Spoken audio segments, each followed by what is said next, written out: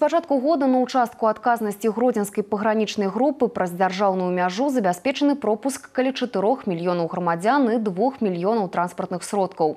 Акрамя таго, у рамках аператыўных мерапрыемстваў прынёманскімі вартаўнікамі рубяжоў краіны сёлета затрымана 48 парушальнікаў мяжы. Выведзена з незаконнага абароту звыш 20 адзінак зброі. Так, у лічбавым выражэнні выглядаюць службовыя паказчыкі гродзенскай пагранічнай групы.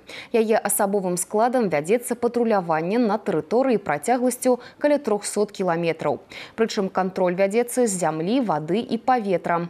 На ўзбраенні пагранічнікаў знаходзіцца сучасная тэхніка, апаратура і абсталяванне.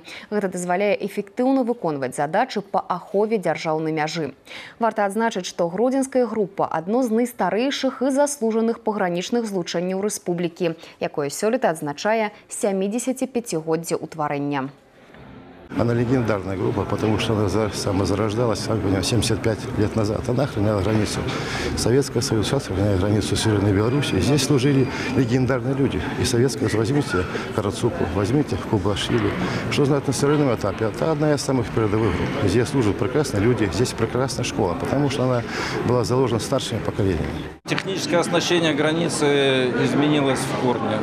Э, Раньше мы располагали э, техническими сооружениями достаточно простыми. На сегодняшний день э, это комплекс, который позволяет нам осуществлять э, комплексную охрану границы интегрированными средствами различными. Это и сигнализационные комплексы заградительного действия, это видеонаблюдение, радиационные датчики, сейсмодатчики и другие. Поэтому, конечно, техническая оснащенность, она немножко другая, чем в те времена.